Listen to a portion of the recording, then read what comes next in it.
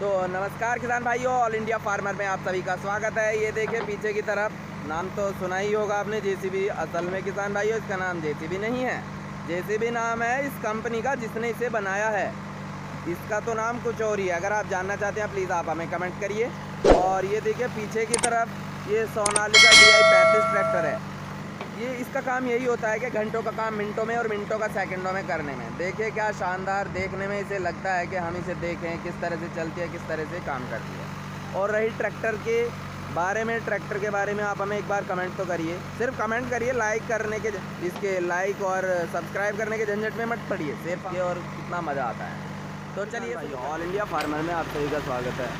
जैसे भी नाम सबने सुना होगा लेकिन दोस्तों, इसका असल में नाम भी नहीं है। इसका नाम है बैकहोल लोडर जो कि घंटों का काम, मिनटों में, मिनटों का सेकंडों में करती है। और इसी के साथ साथ इधर की तरफ़ देखिए, इंडो फार्मर, बीस पचास डी ट्रैक्टर है और तीन सिलेंडर में ट्रैक्टर है। किसान भाइयों, आपके दिमाग में कभी ना कभी एक विचार तो आया ही होगा, ट्रैक्टर के टायर पीछे के टायर छोटे और आगे के बड़े क्यों होते हैं? अगर आप यही सब जानना चाहते हैं तो प्लीज़ आप हमें कमेंट करिए। इस बारे में हम आपको पूरी जानकारी देंगे, छोटे टायर क्यों होते हैं आगे पीछे टायर बड़े क्यों होते हैं? कितनी हवा भरी जाती है? रोड में कितनी हवा होती है? और खेत में, इन टायर में कितनी हवा होती है? तो चलिए, इस बैकऑल ऑर्डर के बारे में हम बात करते हैं। ये देखिए, आगे की तरफ़ इसमें एक काफ़ी बड़ा एक झाबा दिया गया है, जो कि करीब 50 किलो के आसपास तक ये मिट्टी उठा सकता है एक बार में। और इसी के साथ साथ अगर कहीं पे गाड़ी फंस जाती है, धुलाई करती है, और उसे निकालने में काफ़ी मददगार रही है, ये भी एक यंत्र है जैसे किसी भी प्रकार का मतलब क्या होता है कि पहले खाद भरने में लेबर लगाई जाती थी, कम से कम चार से छः लोग लगाए जाते थे। लेकिन अब ऐसा नहीं है। अब इससे कुछ ही घंटों में कोई भी ट्रक, ट्रॉली लोड कर दी जाती है। ये देखिए, ट्रॉली लोड हो चुकी है। इसके अलावा अब दूसरी ट्रॉली यहाँ पर आने वाली है, जो कि अब उसे लोड करेगी। तो ये बैको लोडर है, जो कि अपने जब ये काम करती है तो अपने पहियों पर ना खड़ी होकर इसके जैक निकलते हैं, उन जैक पर ये खड़ी हो जाती है।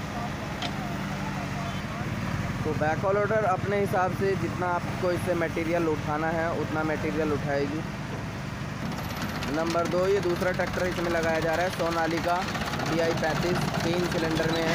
हाँ। तो किसान साथियों, घंटों का काम मिनटों में और मिनटों का काम सेकंडों में करने में ये आपकी मदद करती है। और ये देख सकते हैं ट्रैक्टर के टायर आगे छोटे पीछे बड़े क्यों होते हैं? इनका डिज़ाइन ऐसा क्यों है? कार की तरह चारों पहिए एक जैसे क्यों नहीं होते? हवा का दाब इनमें अलग अलग होता है। ट्रैक्टर के टायर में पानी भी भरा जाता है। ये सब हम आपको जानकारी देंगे। प्लीज़ आपको सिर्फ़ कमेंट करने की ज़रूरत है। और ये बैक ऑल ऑर्डर अपना काम कितनी आसानी से कर रहा है जो कि इतने ही काम को करने के लिए छः लोग लगाए जाते थे। और ये काम लगभग तीन घंटे में होता था। तीन घंटे में नहीं कह सकते छः लोग लग रहे हैं तो लगभग एक घंटे में ये काम कंप्लीट होता था। लेकिन अभी ये कुछ ही मिनटों में, लगभग 10 से 15 मिनट में इस ट्रॉली को ये लोड कर देगा। बहुत ही शानदार कृषि यंत्र है। अगर आप इसके बारे में भी जानकारी लेना चाहते हैं तो प्लीज़ यार, आपके कमेंट की हमें ज़रूरत है। सिर्फ़ कमेंट की ज़रूरत है लाइक करने के झंझट में आप मत पड़िए। और सब्सक्राइब करने के झंझट में आप मत पड़िए बहुत ही शानदार है। ये देखिए किसान भाइयों जब भी हम कहीं पर बैकऑल ऑर्डर को देखते हैं तो हमारे मन में एक ही विचार आता है कि काश हम इसे देखते रहें देख ये वाला लीवर इससे क्या काम है? इस वाले से सिर्फ़ फोकस चलता है इससे अच्छा ये वाली इस वाले से। और जो दूसरे वाला है उससे लाने ले जाने का काम करता है। साइड का है साइड को ले जाना है और डाउन करनी है।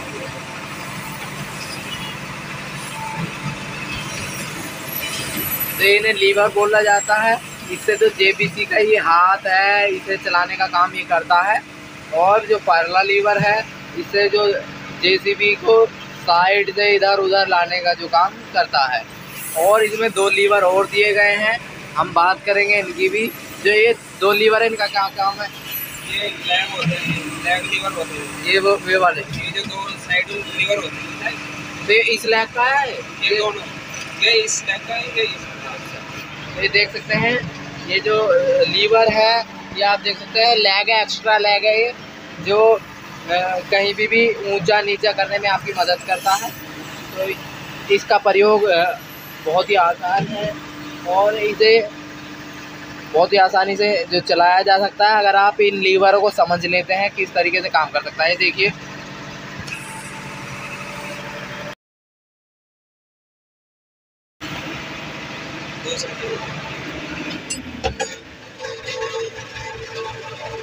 देख सकते हैं किसान साथी ये जो स्विच है लाइट के हैं। केपीसी चलाने का है। केपीसी मतलब? पूरी बूम साइड अच्छा तो ये जो है ये आप देख सकते हैं लाइट का है। और एक बार उंगली लगा देना। ये लाइट का है अब मेन आगे की आगे ऊपर की की लाइट- का है। जी। ये पीछे की लाइट के हैं स्विच है। और जो आग, आगे हैं भी। ये जो हेडलाइट का है नीचे वाले का।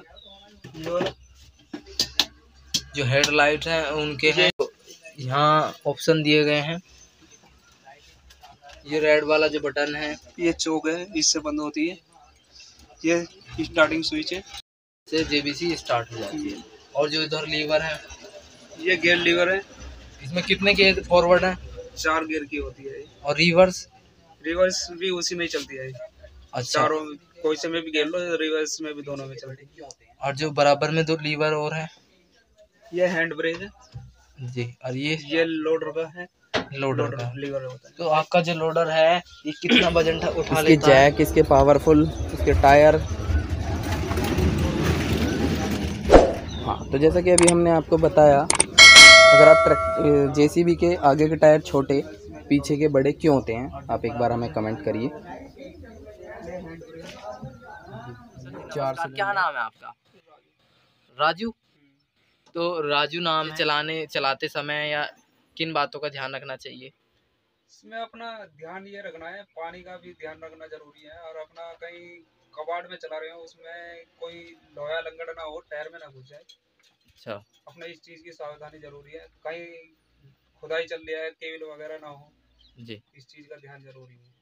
तो एक जो एक तो ये टायर वाली है एक चैन वाली होती है उसमें इसमें क्या फ़र्क है? चैन वाली का तो ये बड़ा काम होता है।